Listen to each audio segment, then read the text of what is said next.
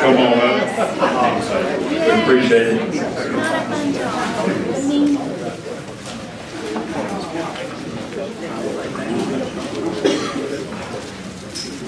My name is Rod Hutchins, I'm president of CIBO.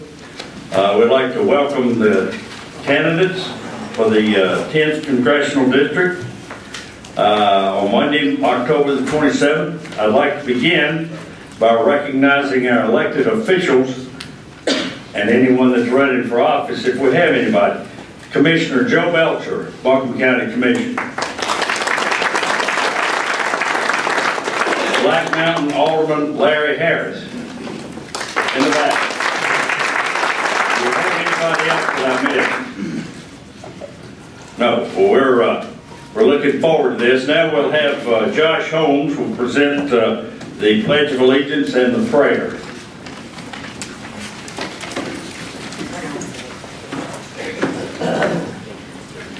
Folks, let's pray first. Dear Heavenly Father, we thank you so much for this day and uh, this time together. We thank you for all the beauty that you've surrounded us with here in West North Carolina. We thank you for our friends that are gathered in this room and for these candidates and their willingness to debate before us. Thank you for the freedoms that we enjoy in this country to do so, Lord, and we thank you for those who uh, have fought and continue to fight to preserve those freedoms. Lord, as we go into these elections, we ask that you give us wisdom to choose leaders that are pleasing in your sight, and let all that we say and do be pleasing to you. It's in your name we pray. Amen. Our pledge. I pledge allegiance to the flag of the United States of America and to the republic for which it stands, one nation, under God, indivisible, with liberty and justice for all.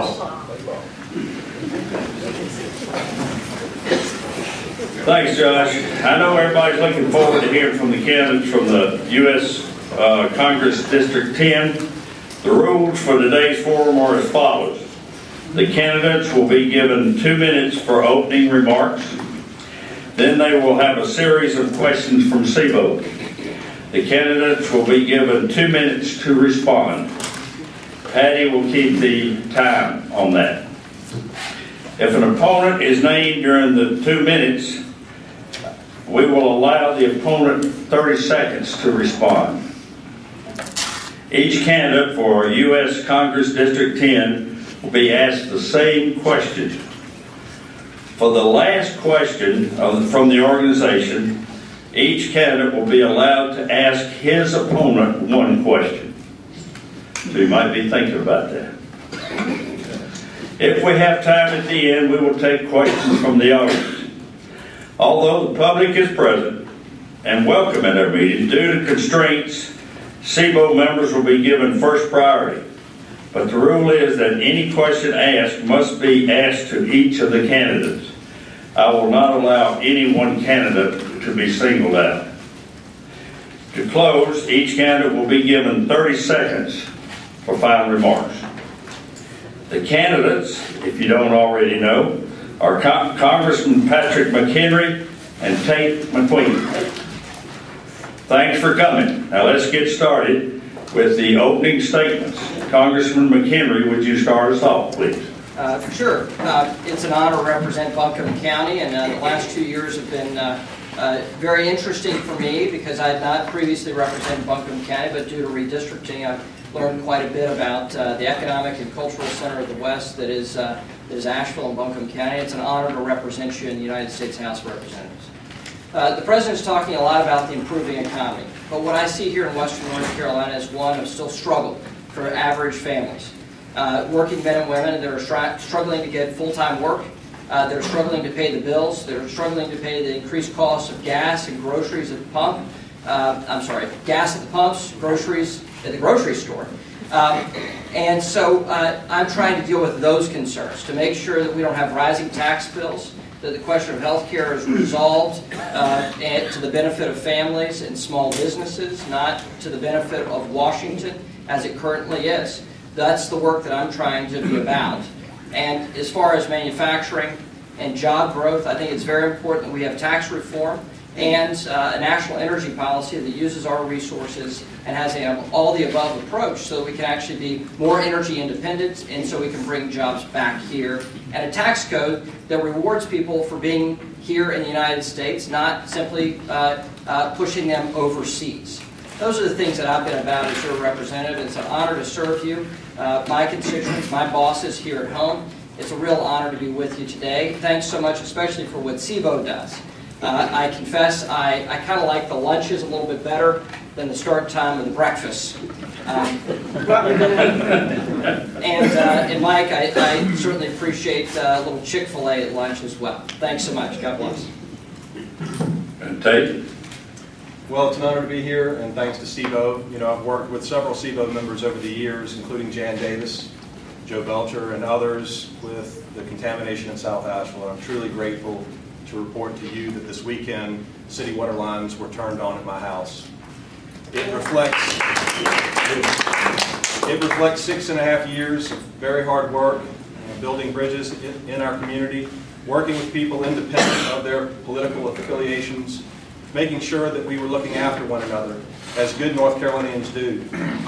The congressman has spoken about the last four years and into that, the four years that preceded that. And we can go on and on, but there was a time in this country and in our state where we could have respectful disagreements, that we could have discussions that may be hard, but out of those difficult discussions, with examples like Ronald Reagan and Tip O'Neill, oftentimes the best solutions came forward.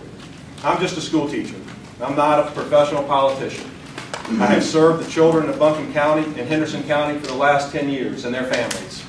What I have seen is an exclusive economy, one that has rewarded the top 1% to the tune of almost 7% in an income increase, whereas the remaining 99% have seen their wealth decrease by almost 3%.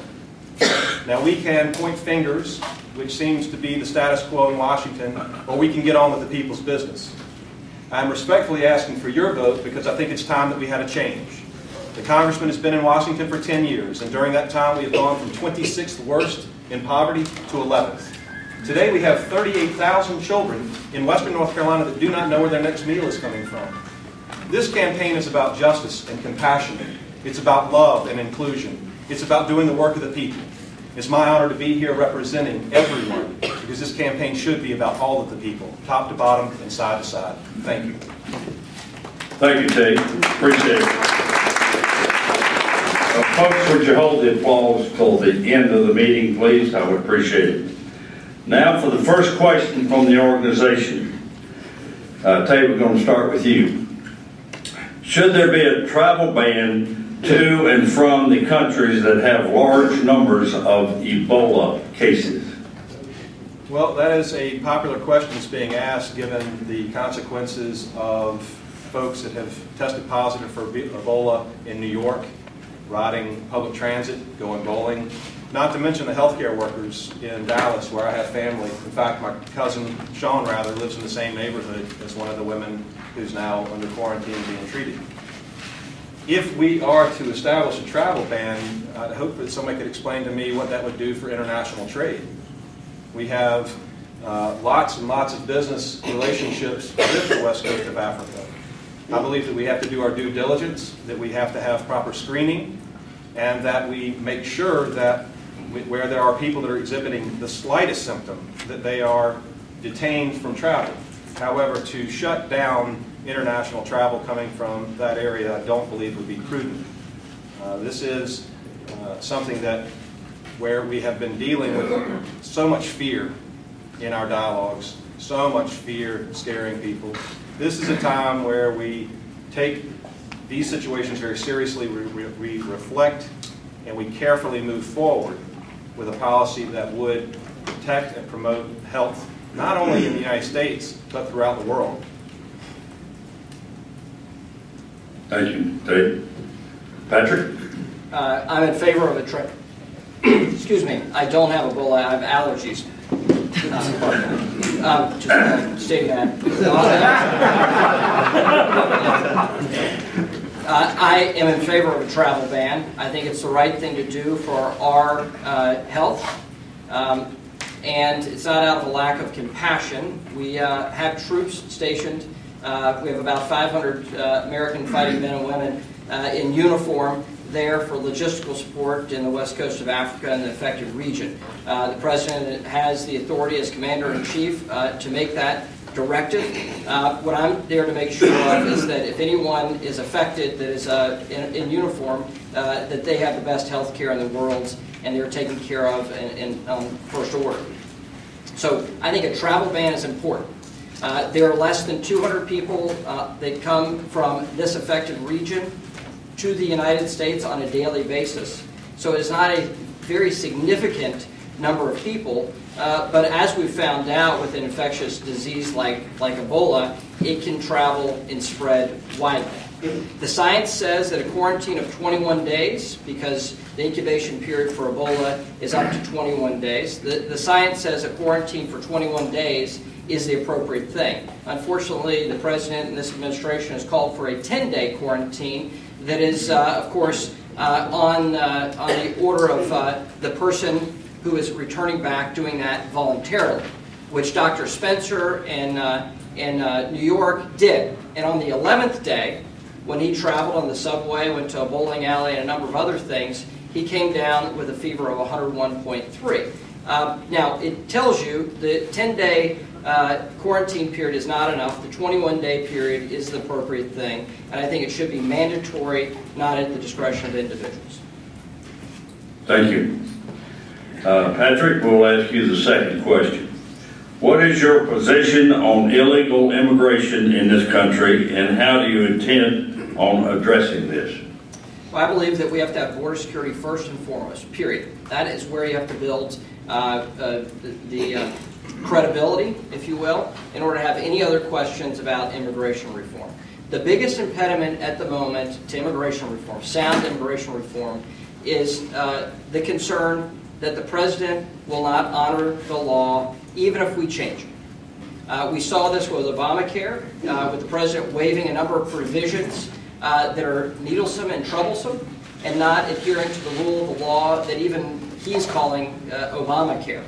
Um, so if he won't do that with health care, I'm very skeptical that he would do that with immigration reforms and changes. Uh, last Congress and previous Congresses, I worked with Congressman Shuler, who represented Asheville to the west, a Democrat, on a border security first proposal and internal enforcement. Um, it can be done in a bipartisan way. It's possible to do it in a bipartisan way, but the idea of simply legalizing a number of people that have come here illegally is not the right approach. If you don't respect the law to come and participate in our system of laws, uh, you're not going to respect the laws going forward. Um, so I think it's important that we have sound uh, border security first before we have any other discussions about immigration reform. Thank you. Tate? We are talking about human beings. We're talking about children. We're talking about compassion. I teach here in Buncombe County, Clyde A. Erwin. I have students that come into my classroom who have been shipped here against great odds because in the absence of a stable economy in Central and South America, you create vacuums where organizations like drug cartels can do real and painful damage, where the death rate is skyrocketing, the violence is something that we can't even comprehend. And as the father of two children that are here, Lachlan and Margaret, I can't tell you that I wouldn't do the same thing if it meant saving my children's life. We don't have a sound economic policy with Central and South America because it's predicated on free trade, not fair trade. So I think that to engage in this idea where you can round up the children and send them home without understanding what their home is like is not the best policy. I believe we have to have a pathway to citizenship. We also have to make sure that our national security is taken care of so that those that come here with criminal records and violent pasts are deported. You know, in the Spanish community, they call the president the great deporter because he's deported over 2 million people. Now, over the course of that time, I want it to be known that my name is MacQueen, and my family came here with Flora MacDonald. And Patrick McHenry's last name is McHenry, and I don't know if yours came over during the potato famine.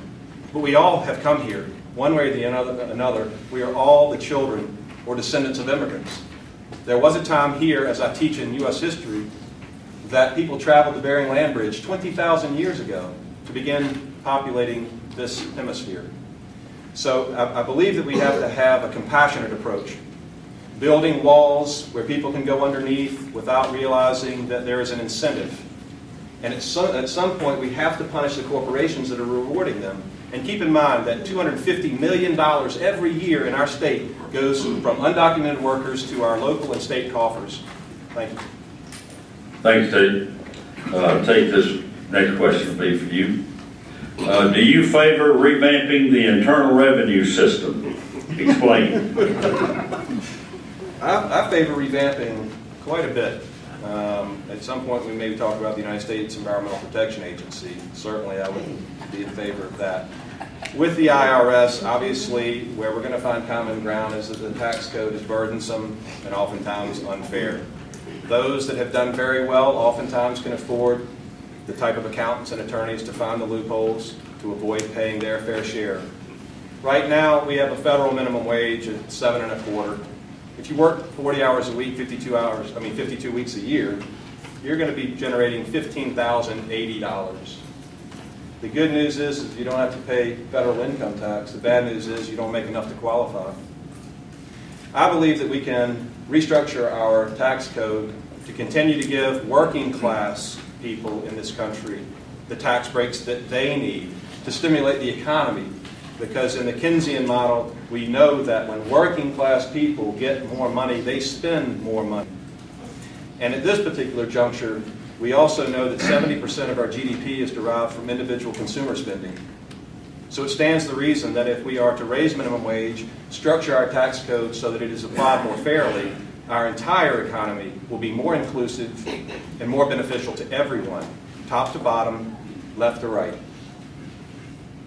Thank you. Uh, Patrick? Um, Well, first of all, I think we need to have fundamental tax reform on the personal income tax side and the corporate income tax side. Uh, What we see is corporations trying to go to a different tax regime, a different country around the world, to to have their corporate taxes taken from them.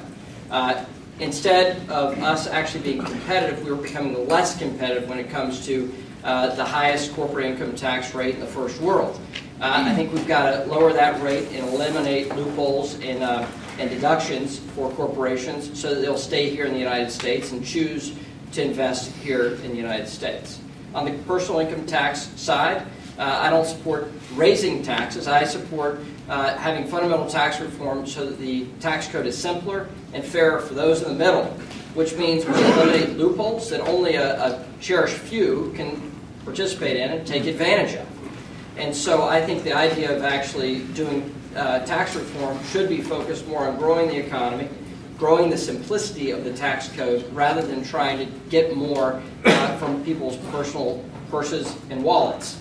I think that's the wrong approach. We pay plenty in taxes to the United States. It's a matter of uh, our government and policymakers uh, making do with what Washington takes from us at current and prioritizing the needs of our nation for the long term. That's what I've been about. That's what I've supported. And my votes go right along with that. The tough question of government spending and tax reform, I've cast those votes and proud to do it so that we can uh, grow this economy and, and, and be more competitive uh, around the globe. Thank you, Patrick. Patrick, you're up next. How do you intend to deal with the ISIS threat, and do you favor boots on the ground, or is the air campaign enough? Explain. I favor boots on the ground. The idea that you're going to uh, use cruise missiles and, and uh, planes at 30,000 feet to uh, defeat an enemy that is uh, uh, mainly built around people and trucks, um, not tanks, uh, not heavy formations, uh, this is a very different threat than what happened in World War II or um, what we saw in Korea. It's a very different threat, and the idea that you can simply bomb from the sky and get, uh, get the uh, security on the ground that you need is, is simply not there. We, have got the best trained, best equipped uh, military in the world. Um, it's not a matter of us using it every day, but it's a matter of us using it judiciously. I've, uh, and I've said this before, I said this earlier, the President is Commander-in-Chief. I disagree with this president. I don't think you're going to find that as a shock. If you're a liberal in the crowd, you think that's bad. If you're a conservative in the crowd, you think that's bad, right? That, um, that you know, I'm a Republican and saying things about the president, you know, you may have a problem with that as a, a liberal. But uh, the fact is, he has the ability to uh, make big decisions for our country and our national security. What I've asked him to do, and a number of, him, uh, of us have asked him to do, is not simply call for the action of training uh, allies on the ground, uh, but actually have a plan. Have a cohesive, coherent plan so that we win. We don't just simply take on a challenge in the Middle East, but we win and we make the region safer and uh, establish a balance of power that is long lasting so that we don't have to engage constantly in the Middle East. Uh, the fact is, this president had a plan to draw down the troops in Iraq, and we had about a thousand troops as of six months ago. And what we're seeing, the destabilization of Iraq and the region is largely because we didn't have any footprint there to combat. I think we need to maintain a, a footprint there so that we can battle the bad guys and defeat them where they are. Thank you. Tate? Well, I believe that much of the problem is the rhetoric that we continue to hear. I'm a history teacher. It pains me to over and over and over again see the lessons of our own history not adhered to, much less the lesson of the Soviet Union. The Soviet Union doesn't exist anymore because they went into a third world country called Afghanistan. They were there for 10 years. They depleted their treasury. They don't exist anymore. The difference between the Soviet Union and the United States is our military is built by private corporations and funded by public money. now, you know, I wouldn't be the teacher that I think that I am if I didn't bring you a little visual. You see the red here? That represents the amount of money in our budget that goes to war, nuclear weapons, and defense. It happens to be 57%. Now, if you're going to deplete our treasury, and worse yet, deplete our national treasures, our young men and women asked again to go into another quagmire when there are neighbors to Syria, neighbors like Saudi Arabia, Jordan, Turkey. They have the funds, they have the money, they have a military that they have purchased from our industry here in America. But when you look at this and you go to how much of that budget is spent on veterans, and it's less than 6%, and 6% is spent on our education. And in, in, in, the context of small business, our budget spends, you know, less than 5%.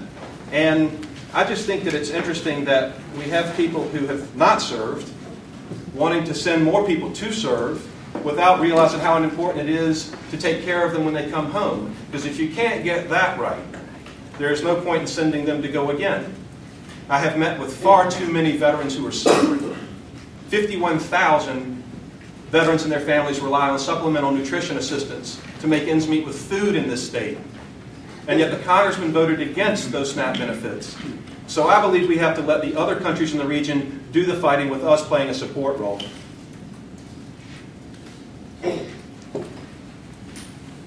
Thank you. Tate? This is question's for you. What steps need to be taken for industries that have moved overseas to relocate here in the U.S.? Explain. Well, I can speak to that uh, from a familiar perspective. My uncle Tom Broyhill in Lenoir, his granddaddy and his great uncle started the Broyhill Furniture Factory. And Tom was the last Broyhill in the factory even after they sold it and they relocated it to South Korea. And he would laugh about how often the furniture would come back from South Korea with four left feet on it. And I was telling him that I might say something about his politics, but I was kidding.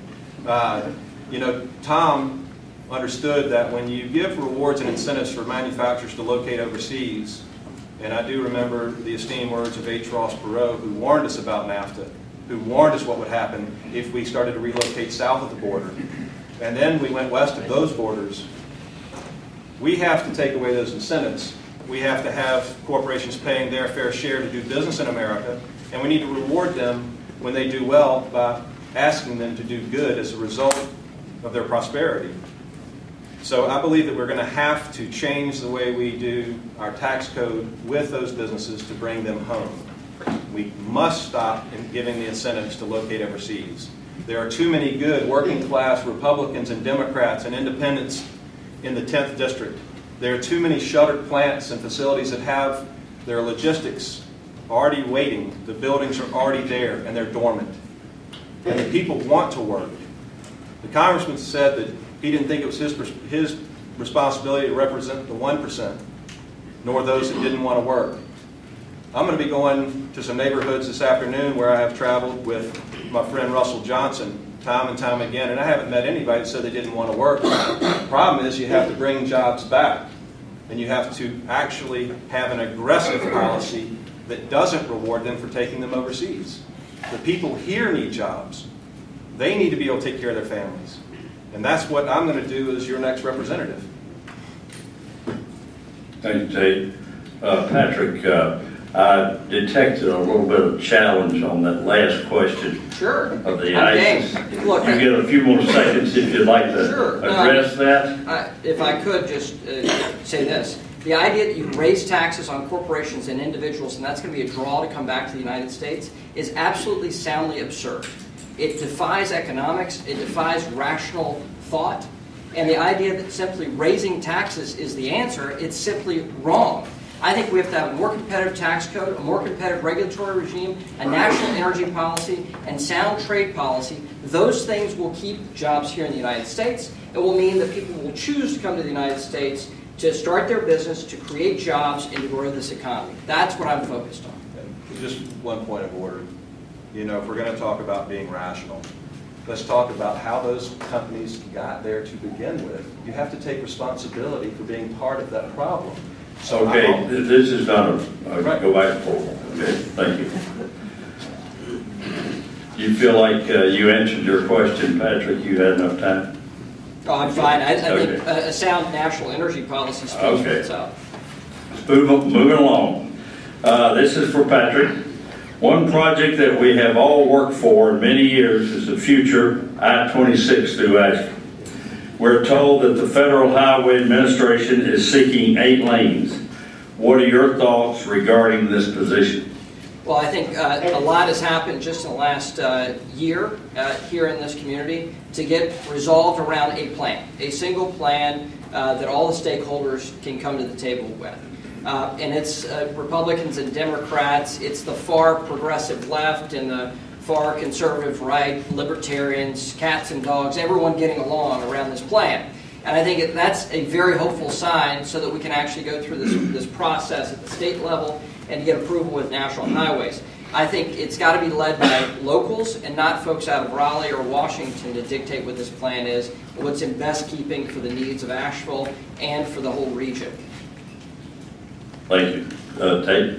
Well, I've been here for 10 years, and when I moved back home to North Carolina, and we decided to come to Asheville, that was one of the things we often heard driving to Earth Fare to get our groceries. And certainly, we have to improve our infrastructure. We're talking about constructing new roads, and it's very important that we look at the footprint that it'll leave, also the transportation, transportation systems that we use. The other thing that's, you know, I believe that's very important to bring up is our crumbling infrastructure here in North Carolina. There are over 5,000 bridges in a state of disrepair or functionally obsolete. 45% of our roads are in a state of disrepair. That costs North Carolina motorists $1.5 billion a year in repairs, which equates to $241 per motorist. We have to take care of our infrastructure on a systemic level. And we do have to involve the stakeholders, the business community, as well as those that have a concern for the environment. Uh, I hope that we'll be talking about environmental policy and uh, our views on that. But if we continue down this path of building first and asking questions later, we're going to have real problems. Thanks, Ted. Now, for the favorite part, you get to ask your opponent a question. Only have just one second to think about that. Tate, you get to ask Patrick a question. Patrick, you have two minutes to answer. Well, my, my concern obviously is that when our community needed the congressman in South Asheville, when we were in our greatest time of need, working class Republicans, Democrats, Independents, people who were vulnerable, people who trusted the US EPA and NC DENR, the congressman turned his back on us. And I told him privately, the reason I'm running primarily was because I had been representing my community with others in our community, and we never got the help that we needed on a federal level. We never held those officials accountable. We've seen people like Franklin Hill, who's probably one of the most corrupt officials at EPA, matriculate now to head the national Superfund section for US EPA. And so it became a question of compassion. And I'm trying to figure out where that is. When we have a congressman that votes against minimum wage at seven and a quarter, votes against the Lilly Ledbetter Act for fair pay, votes against fully funding supplemental nutrition assistance, votes against... Against... make it a question, please. Well, I I would like to know, in the spirit of being a history teacher, we come forward 60 years from a very dark period in our history, led by one Joseph McCarthy. And in the spirit of Joseph Welch, I would just like to ask, have you no sense of compassion, sir? Uh, The answer is yes, I do. All right, that's answer. Uh, Patrick, you have a question for Tate? Uh, Mr. MacQueen, uh, you've, um, we're talking to a group of business leaders. What relief are you going to give for small businesses that are suffering under the expense of Obamacare, the lack of lending as a result of Dodd-Frank, um, and, uh, and, and the ongoing challenges of a weak economy? What answers are you going to provide to them on Obamacare and Dodd-Frank? What relief are you going to give them? Well, you know, oftentimes when I hear the word Obamacare, I think of a friend of mine who said that you guys ought to be calling it Obama Scare. You know, the, the fact is, is that small businesses were deprived of the subsidies to bridge the gap, to help people have health care in America. I believe that health care is a right, not a privilege. And I think that when you have children and adults dying at an estimated rate of 2,800 in this state, that's five a day from treatable illnesses because of the coverage gap from our governor and the legislature denying those Medicaid funds from the federal government. Now, when you ask me this, I've actually, I actually started a small business in Athens, Georgia. I've actually worked in a small business. I've balanced the books, I've cut the checks.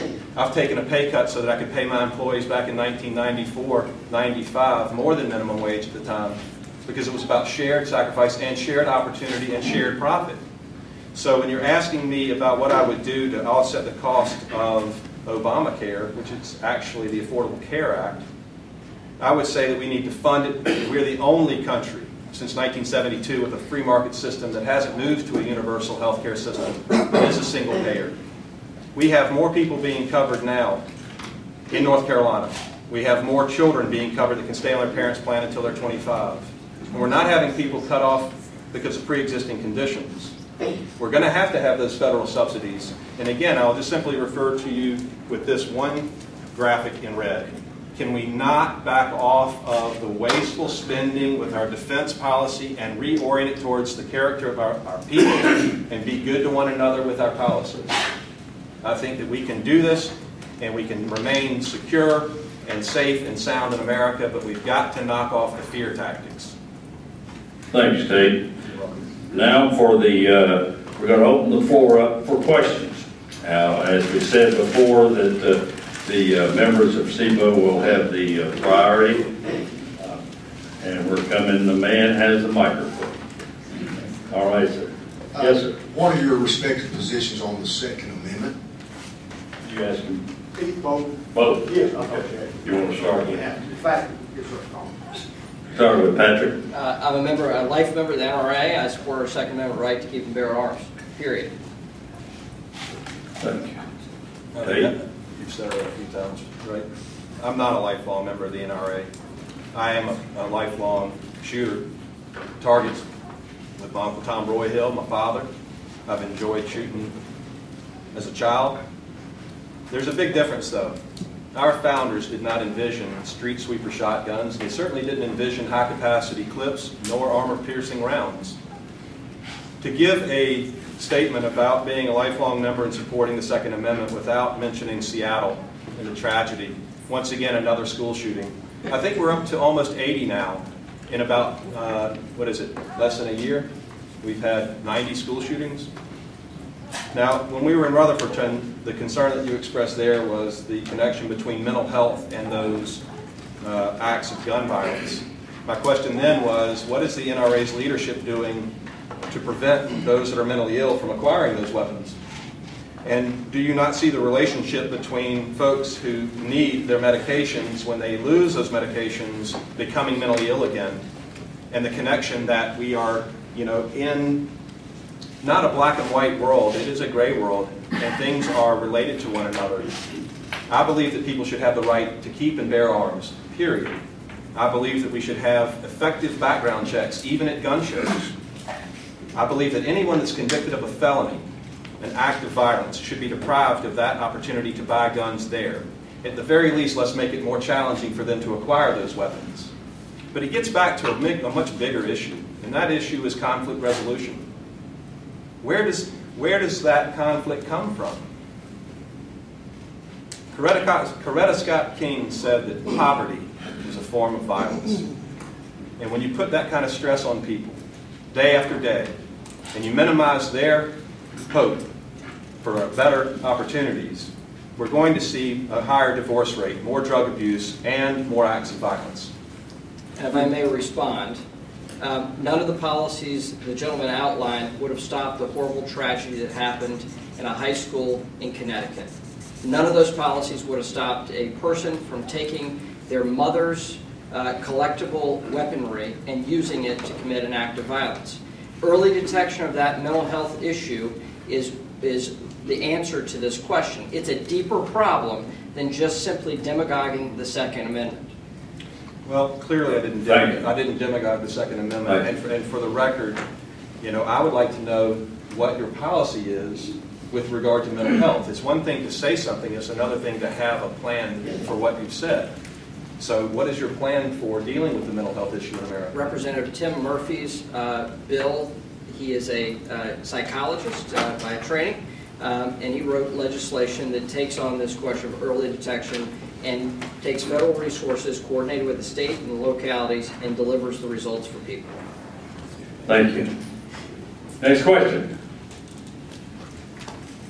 We're getting closer to the microphone, Peter. Bill, you Uh, This question, for both of you, uh, start with Tate and for the answer. well, it's going to be a question for both Yeah, of you, right. whoever you want to start, starts to answer it. What is, elected, what is your position in support of the nation of Israel? That's a very good question. I think that the nation of Israel should be held to the same standards as the rest of the nations around the world. We have a long relationship with Israel, and I don't believe that we should have policies that are against who we are as Americans simply because we have that relationship. We need to have standards for their government and the way that they have, at times, lost their way especially with regard to Palestinians and the Palestinian question as far as a two-state solution. And we can't just cloak ourselves in the Israeli flag and sacrifice the American flag at the same time. Uh, I believe in a strong relationship with all of the countries in that region. We do have a long and endearing relationship with Israel, and I don't believe that we can go along with anything that creates more instability in that region. That we need to be an agent of healing, not an agent uh, that, that resorts to, to uh, military reactions or supporting military reactions as the first reaction. Uh, I'm a strong believer in our, our relationship with Israel. I believe we're blessed as a country because of our connection with the nation of Israel. That's how, so that's been consistent with my votes, that's consistent with my public actions, and that's consistent with my private prayers. And so I believe this connection means a couple of different things. First of all, Israel's the longest standing democracy in the Middle East. They were the only democracy in the Middle East before Iraq had their version of a democracy. So, first of all, they're the most free nation in the Middle East as well. And to equivocate and say that Iran or uh, Turkey or Jordan or Saudi Arabia or Egypt is, is equivalent to Israel in terms of freedom, their respect not just for uh, diversity of religious uh, um, uh, faiths in, in their midst, but also their respect for women and women's rights, families, and the freedom of speech Those things are far different than the rest of the Middle East. So I think we have to honor that relationship. It means in terms of what we do on the international front. To actually say to, to Israel that they have to drop leaflets before they take action against bad people that are firing rockets at them is absolutely absurd. We didn't do that when we started bombing uh, ISIL tar- targets in the Middle East. So to demand of an ally and friend that they do something that we won't ourselves do is absurd and dumb. The uh, other thing, I sort of care about this. I'm kidding. Uh, Excuse the sarcasm. But uh, the other thing is, we have to make sure that we maintain this first order connection for technology. Our military to military relationship with Israel is a very important one on the technology front, and that exchange is very important.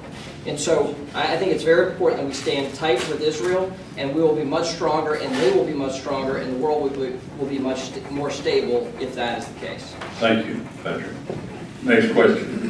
Uh, First of all, thank you very much for being willing to serve the uh, United States and our district. I appreciate it. Um, As a business person, one of the things that uh, confuses me about immigration is sometimes being able to identify the person in front of me as being legal or illegal. Uh, I also think that the social security number is our most important number associated with any human being. And frankly, Denmark has national security guards. Would you support a national system of uh, security cards or or identification cards which secure the social, our social security numbers and make it easier for me to know whether or not I can hire someone? Patrick. Yes. Uh, And E-Verify was the first step of this. But the idea that as a matter of federal uh, policy, that we simply say, we're going to have a porous border, we're not going to know who's going to come over that border, and we're going to look to small and large businesses to be the enforcer of immigration law is not responsible at all. And so I think we need to have real border security. You also have to have the ability to verify uh, that, that employees are, that people are here legally. Um, and if we're not a nation of laws, if we're not a nation of, of borders, um, then we're not a nation at all.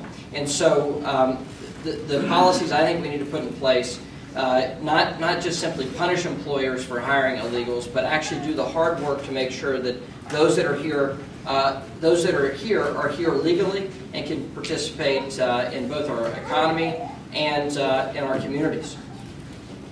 Thank you. Next question. Uh, Oh, well, excuse me, I'm sorry, Tate. Okay.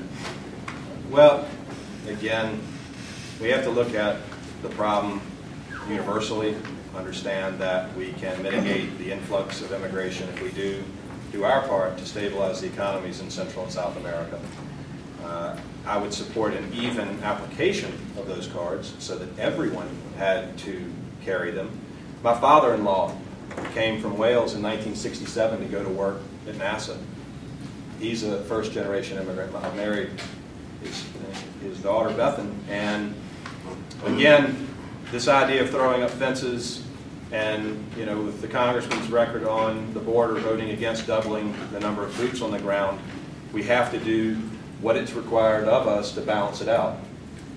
As I said, about $250 million a year from undocumented workers goes into local and state coffers. If you took a quarter of a billion dollars out of those funds, it would have an immediate impact on our first responders and our infrastructure. We have to have a pathway to citizenship. We have to hold those that have come here uh, with violent records accountable. And we have to make sure that the children who came here through no fault of their own are treated with respect and dignity and are not vilified and turned into this enemy. We can do these things because when America has been under duress, we have always risen to that occasion. And we have great men and women who've set a great example for us to follow. People like Franklin Roosevelt, Teddy Roosevelt, Fannie Lou Hamer, Myrlie Evers. So many people, when they faced those crises, showed us that they were opportunities for us to reveal the true nature of ourselves. Thank you, Tate. Bob? Yes, thank you. Um, Six years ago, the existing president went in office when we had approximately seven and a half to eight trillion dollars in debt. We now have 18 trillion dollars in debt that they admit to, so it's probably more than that. My, I would like to know what your guys, what opinions you've got or ideas you've got to head us towards, you know, getting rid of this debt. Tate? Well, there are two things that are of concern for most people when talking about debt and how it relates to the deficit. I believe that we have to stimulate this economy. I believe that we have to invest in our infrastructure and we have to create jobs at home. It may require deficit spending on the short term, but that will stimulate our economy. We have to raise our minimum wage to a living wage. Now, 600 economists, seven of them being Nobel Prize winners in economics, have signed a letter of support stating that the minimum wage should be $10.10 by 2016. The immediate impact to our economy is twofold. Number one, there's an excess of $50 billion that would immediately go into our economy. We have three quarters of a million North Carolinians that would immediately benefit from that. And for those entitlement programs, which is an interesting concept, those entitlement programs for support, like SNAP and Medicaid, those would be decreased by $8 billion immediately. So I'm, I'm one who believes that we can stimulate the economy, pay down our debt by reevaluating the way we invest our money. Continuing to get bogged down into one quagmire after another quagmire that, again, drains not only our national treasury, but our national treasures is something that we can no longer afford to do. I believe that if we do look at an approach that everyone can prosper, everyone can be included. The congressman talks about wanting to grow a bigger pie. I say we need more seats at the table.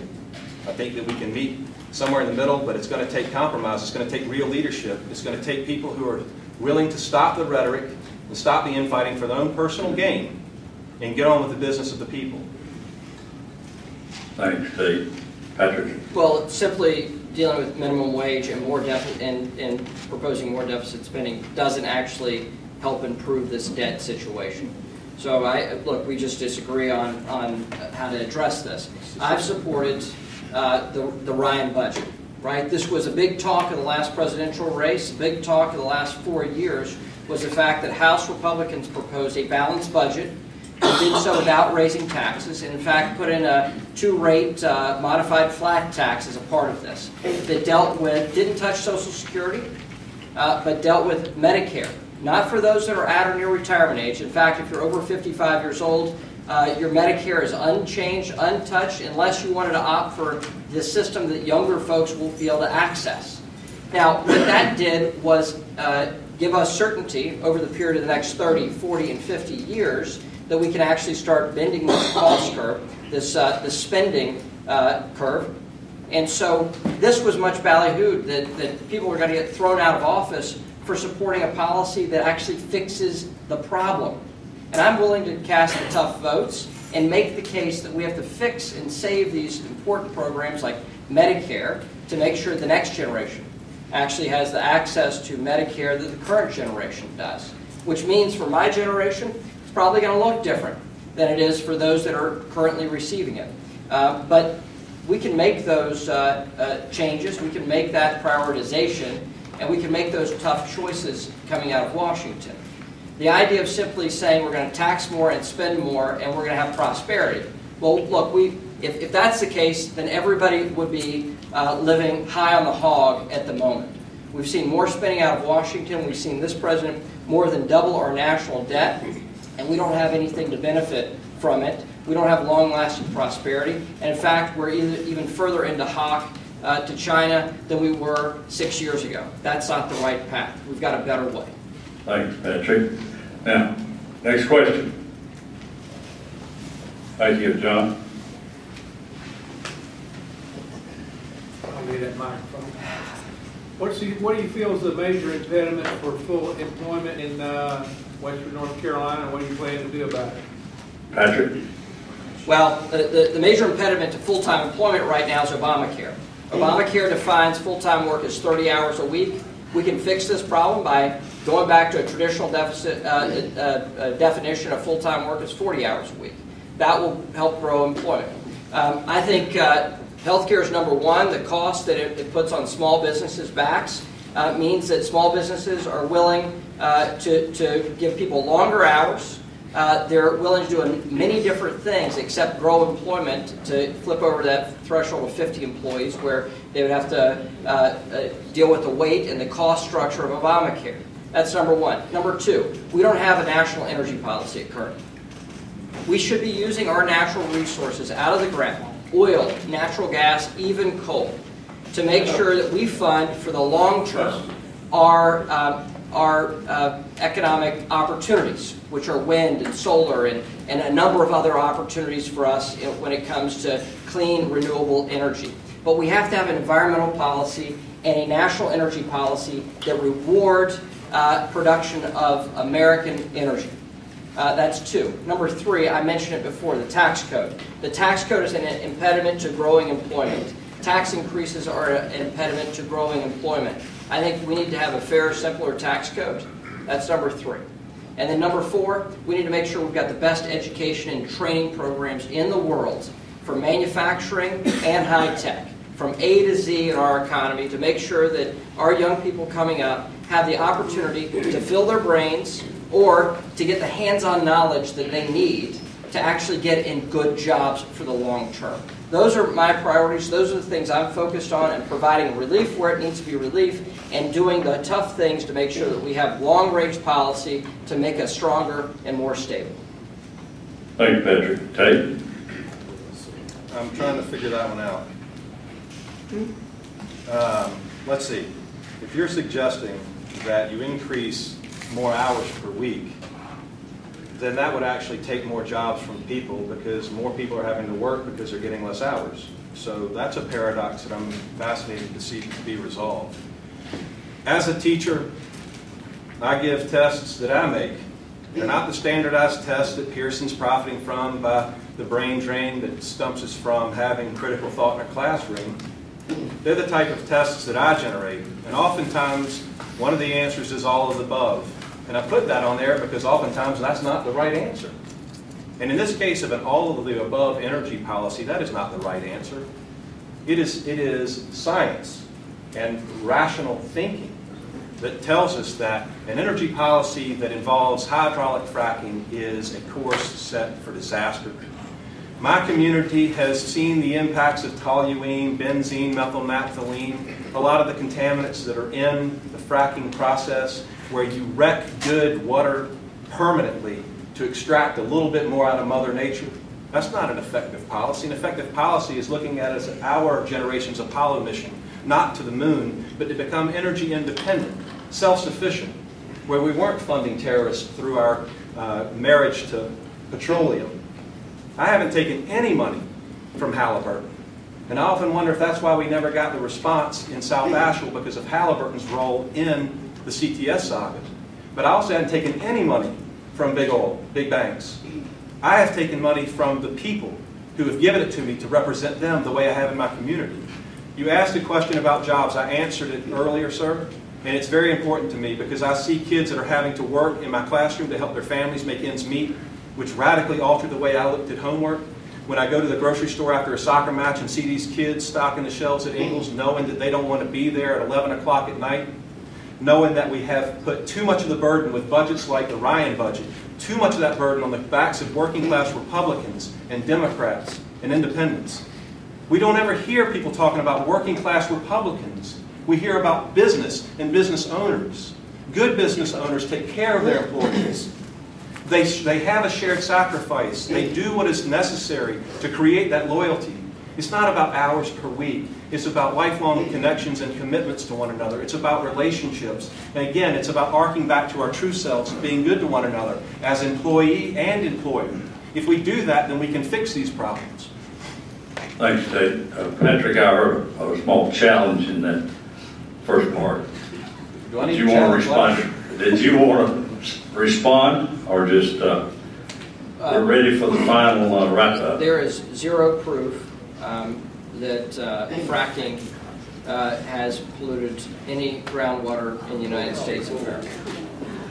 Um, And if you have a case, you can make national news because there's not yet been a case where fracking has caused groundwater pollutants. Now, that is the case. Now, the question of a type of technology to harvest energy out of the ground, I think that'll be regulated at the state level, and the state of North Carolina is taking moves to do that. Other states are doing the same. In the federal government, there's not, um, there's not currently the regulatory uh, architecture for it, so this will be done at the state level.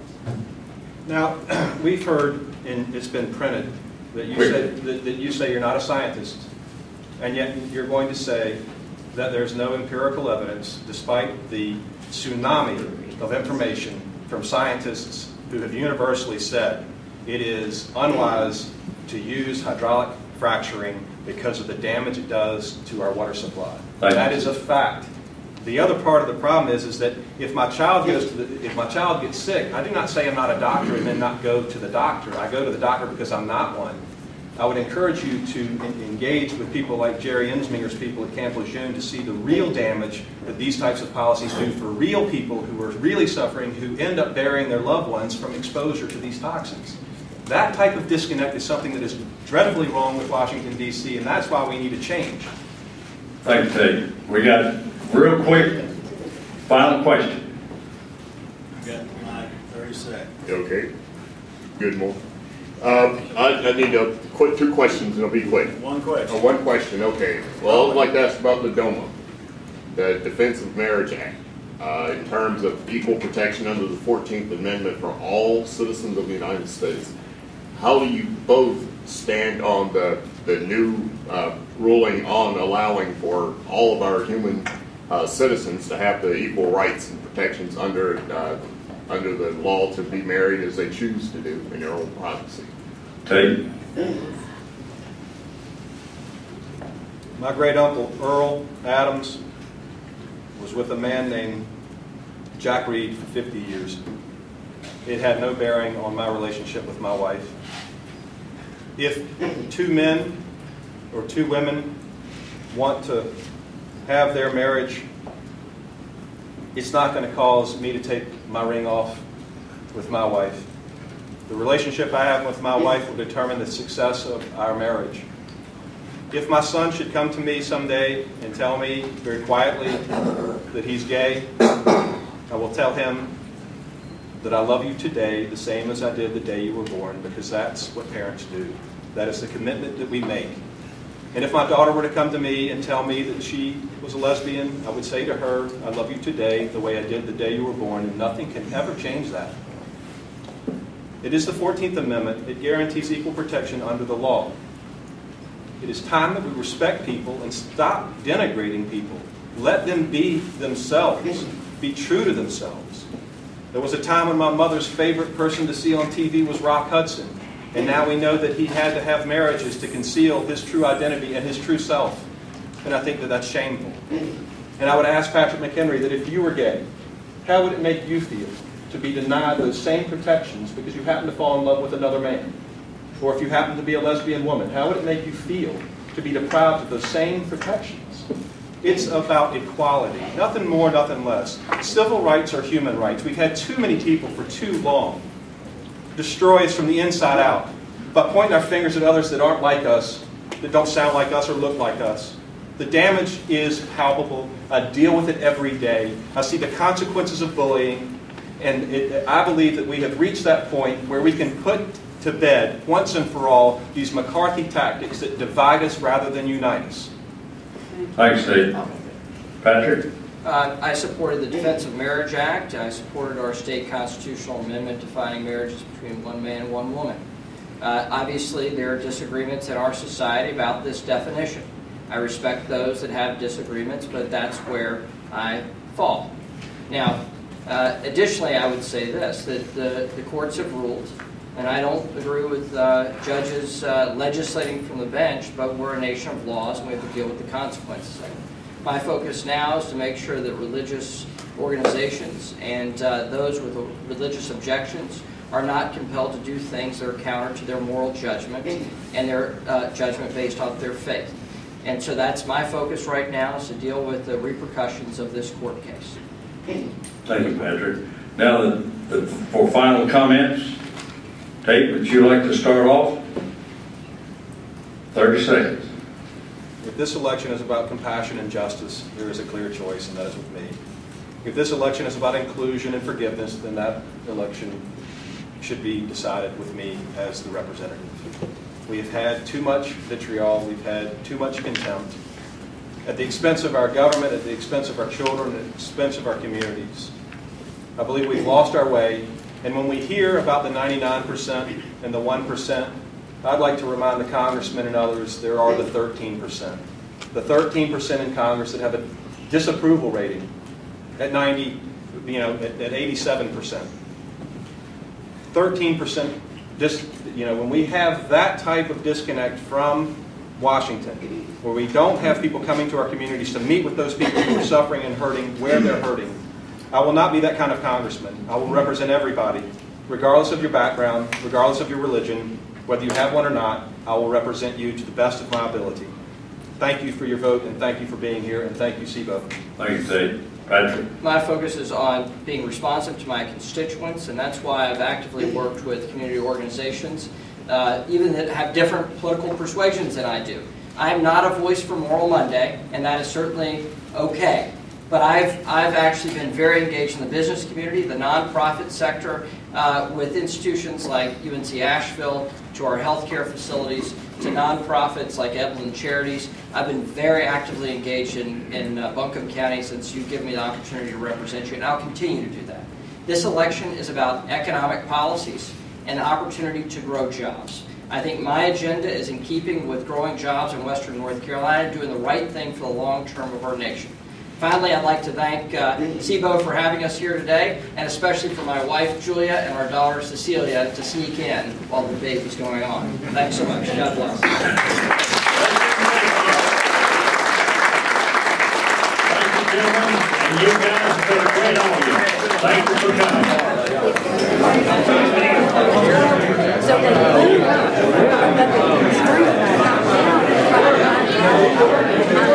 So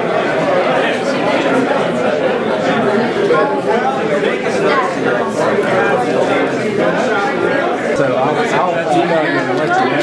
Yeah, we're not coming up. Yeah. Yeah, I was hoping because we've had y'all down in Charlotte for the last two years, and I was, I was hoping come up here.